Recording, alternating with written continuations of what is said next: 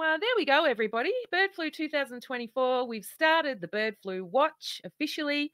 Uh, as this we've seen this morning, they're already killing the birds, killing the chickens, killing the turkeys. We know that at the first farm to have the outbreak, the one at Meredith, around 400,000 birds had to be destroyed as a result. Uh, killing the cattle, they're reducing uh, the food uh, with eggs and meat. They're targeting cattle as well. The first human case of this current outbreak was in a farm worker here in Texas, the second a farm worker in the state of Michigan. Both had regular exposure to livestock infected with bird flu. well, uh, financially ruining farmers, uh, waiting for it to cross borders, and uh, we're keeping an eye on uh, the human vaccines available. Uh, so, Bird Flu Watch 2024 has officially begun.